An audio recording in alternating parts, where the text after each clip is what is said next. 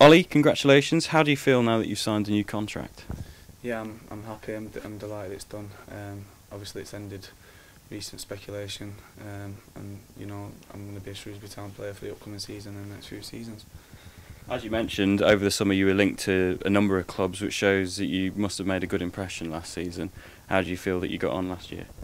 Yeah, it's always nice. Obviously, um, personally, I think there's there's more to come. It was my first season in League One, um, but interest is always nice. But after talking to the gaffer, um, Brian and the chairman, they know how much I enjoy my time here. And obviously, I want to kick on. As you mentioned, that you, you you're pleased that the club are committed to you. I mean, you've signed a three-year deal showing that you're committed to the club and the club's committed to you as well. So it was an easy decision, I assume.